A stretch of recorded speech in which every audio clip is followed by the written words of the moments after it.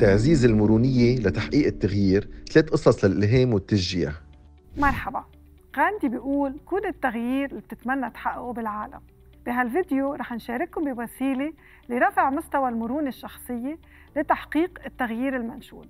ورح نتعرف على ثلاث نساء حققوا مسيرة التغيير.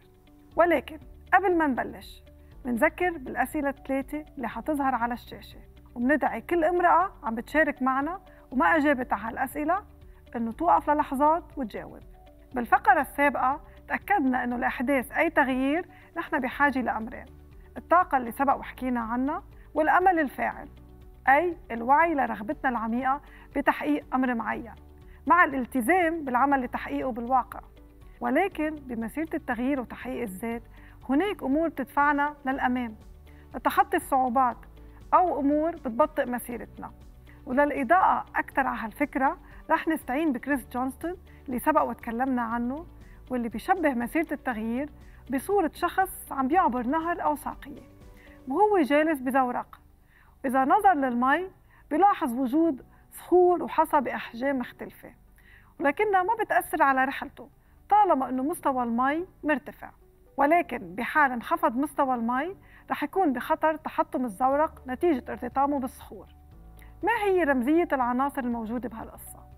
الصخور هي رمز الصعوبات والأزمات والخيبات اللي بنواجهها بالحياة والمي هي رمز لمرونتنا قدرتنا على تحمل المصاعب والتحديات إذا عند شح منسوب المياه أي القدرة والمرونة على تحمل المصاعب والتحديات بصير خطر الارتطام بالصخور أي الأزمات أكبر وأنت عند مواجهة مشكلة أو تحدي شو هي الأمور اللي بترفعك للأعلى وبتزيد مستوى المرونة؟ وشو هي الأمور اللي ممكن تفاقم المشاكل وبتأدي للغرق؟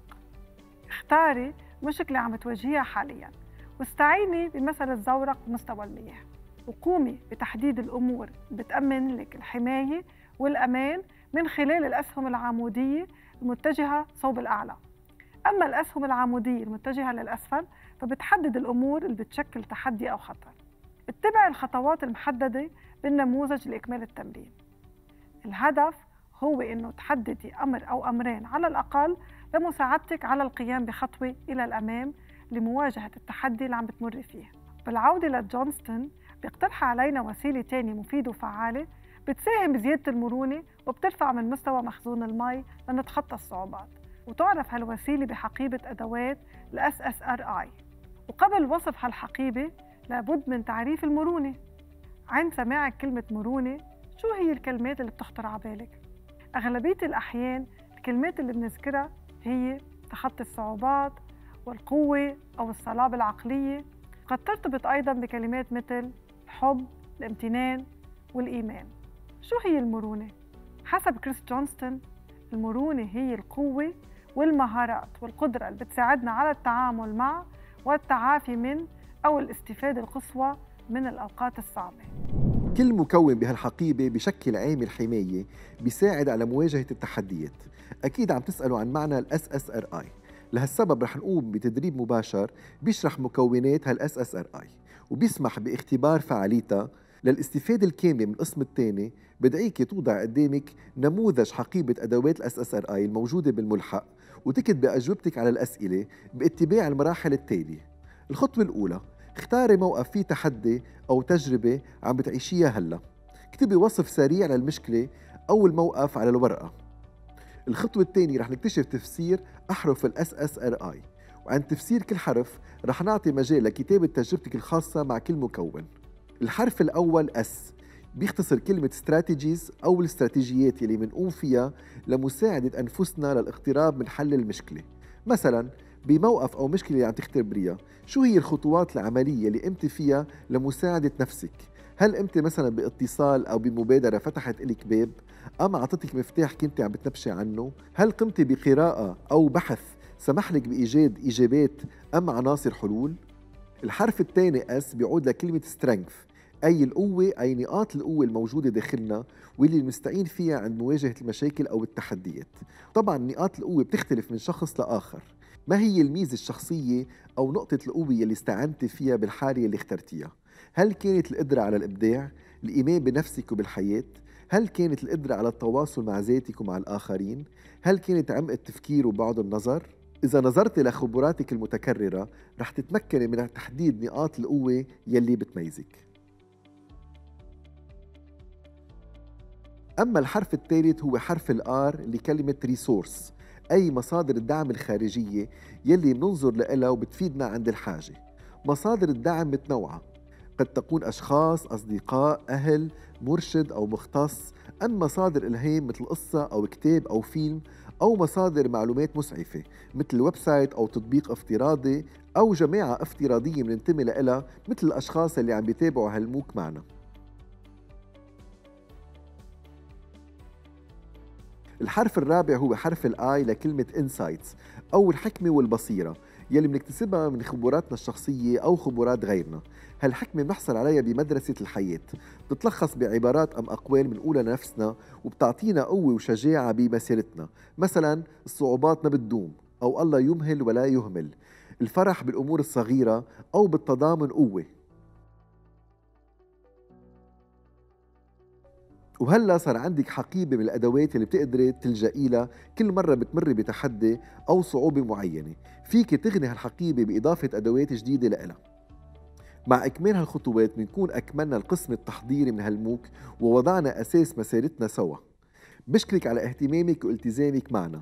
نحن بنعتبر مواظبتك تعبير عن أملك الفاعل بإحداث التغيير اللي بتطمحي له إن كان على المستوى الشخصي والجماعي. لإنهاء هالقسم بدعيك القيام بالخطوات التالية. الإجابة على الاختبار السريع الاطلاع على القراءات والفيديوهات وتطبيق التمارين يلي بتكمل المعلومات والأدوات اللي بحثنا فيها الموجودة بالملحق الخاص بكل أسبوع. بما أنه الموكي بيطمح أنه يكون مصدر إلهام وطاقة بنتشارك بختام هالفقرة بخبرات ثلاث نساء من بلدان عربية مختلفة عندهم إعاقة. رح نتعرف على مسيرتهم الشخصية للتحدي الشخصي أم الجماعي اللي استطاعوا يواجهوه ويقوموا بالتغيير بالإضافة للصعوبات اللي تواجهتهم بمسيرة التغيير والأمور يلي ساعدتهم. معكم داليا من لبنان هدين من الأردن وإيمان من تونس. خلينا نسمع قصصهم ونستفيد من خبراتهم. مرحبا معكم داليا فريفر من لبنان إعلامية وفنانة عمري 35 سنة. بعمر 18 خسرت نظري وكنت بآخر سنة دراسية بالمدرسة. من بعدها طبعا رغم كل التحديات والصعوبات قدرت تابع جامعة ودرست علم نفس العيادة بالجامعة اللبنانية لمدة أربع سنين. وكمان تمسكت بالمواهب الحلوة يلي الله أعطاني إياهم واللي هن حبي للفن وشغفي للمجال الإعلامي. بالإعلام حققت كثير من الإنجازات وكان أهمها دخولي موسوعة جينيس للأرقام القياسية بأطول بث تلفزيوني 24 ساعة على الهواء مع 91 شخصية من كافة المجالات. هو إنجاز طبعا ترك بصمة حلوة بلبنان وبالعالم العربي وضووا عليه ليقولوا قد إيه لو صبية ما بتشوف بعيونها قدرت تفوت الإعلام اللي بنعرف قد إيه بيتطلب ورقة وقلم تواصل مع المخرج مع المصورين ولكن قدرت حقق حلمي بهالمجال. وبالفن غنيت القضايا الإنسانية والاجتماعية. وبالنسبة لإلي الفن والإعلام هن جناحين لقضية وحدة هي قضية الإنسان.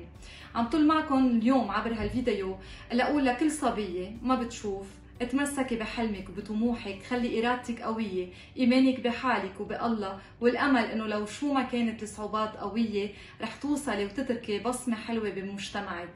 إن شاء الله عبر هالفيديو كون قدرت أترك بقلوبكم فسحة أمل وفرح صغيرة. سلام كيف حالكم؟ اسمي هدي أبو صوفة أنا من الأردن ومن الأشخاص ذوي الإعاقات الحركية. حاليا بشتغل مستشارة ومدربة بحقوق الأشخاص ذوي الإعاقة. حلمي أشوف النساء ذوات الإعاقة مستقلين سواء ماديا اقتصاديا واجتماعيا. وهذا ما وصل إلا لما تتحقق إمكانية الوصول. لهيك عملت مبادرات مختلفة بتتعلق بإمكانية الوصول سواء بالتعليم أو حتى بمبادرة الأردن العيش المستقل اللي بحاول أحكي للنساء ذوات الإعاقة كيف ممكن يكونوا مستقلين بحياتهم ويتنقلوا بكل آه، حرية واستقلالية. الدافع الحقيقي وراء أنه أكمل بهذه المسيرة صراحة الإنجازات اللي حققتها على الصعيد الشخصي وبالنسبة للأشخاص ذوي الإعاقة وأيضا وجود إيمان حقيقي أنه التغيير ممكن يكون بإيدينا إحنا كأشخاص ذوي إعاقة. التحديات اللي واجهتها كثير كبيرة واللي أهمها والصور آه، النمطية والأحكام المسبقة اتجاه النساء ذوات الإعاقة إنه أنت ما بتقدر تشتغلي أنت ما بتقدري تفتحي البيت أنت ما بتقدري تكوني جزء من هذا المجتمع. فهذه الصور النمطية هي اللي دائما بتحكم الأشخاص. أو النساء ذوات الإعاقة رسالتي واللي وجدته إنه كل ما تحبوا الحياة الحياة رح تحبكم. وكل ما سعيتوا في الحياة الحياة رح تفتح لكم آفاق وتقدروا تتجاوزوا كل الصعوبات اللي موجودة في المجتمع ونقدر نغير المجتمع مع بعض كإحنا نساء ذوات الإعاقة. شكرا كثير لكم. السلام عليكم. آه اسمي امين الشرميتي آه عمري 30 سنه من تونس. آه نخدم مهندسه في الميكاترونيك في شركة تونسية الكهرباء والغاز. عندي إعاقة سمعيه عميقة. آه نقرأ شوي لكن ما نسمع جملة واحدة. آه الصعوبات اللي تعرضتها يعني في طيله الحياة هي النظرة متاع المجتمع. آه، القاسية اللي هي ديما استحقار. آه، خاطر ديما نكونوا النساء ذوي الإعاقة السمعية خاصة معناتها ديما ما نجمش يعبر ما نجمش يحكي حتى على الحاجيات نتاعو الكل. لذا يقولوا هو ماهوش مهم في المجتمع. لكن آه، بفضل معناتها نقولوا إحنا حتى التنمر كيف في المجتمع ساعات حتى كيف تحكي كلام ولا حاجة كلام بالغلط ولا حاجة في عود ما يصلحوا لك يضحكوا عليك. كيف كيف حتى في المظهر معناتها هو قال لك راه كيفاش لاباري هذاك سماحة ساعات يفسد لك مظهر نتاعك يضحكوا عليك ديما وكل شيء. آه، لكن أنت ديما تحاول تسكر ودنك على الناس الكل ومعناتها تكون عندك العزيمة والإرادة والقوة اللي باش نجم تحقق الأحلام نتاعك أنت. لذا معناتها وقتها أنا تعرضت معناتها للصعوبات هذيك وقت تعاونتني معناتها بالهوايات نتاعي وبالعمل الجمعياتي وبالدفاع عن حقوق النساء ذوي الإعاقة وحتى الأشخاص ذوي الإعاقة ككل معناها. آه، بالنسبة للحكمة اللي أنا نؤمن بها هي الحكمة آه، معناتها مش كل شيء معناتها راهو غير معناتها مش مستحيل بالعكس آه، تنجم تتحققها وتنجم توصلها بفضل العزيمه نتاعك والقوة نتاعك ميرسي.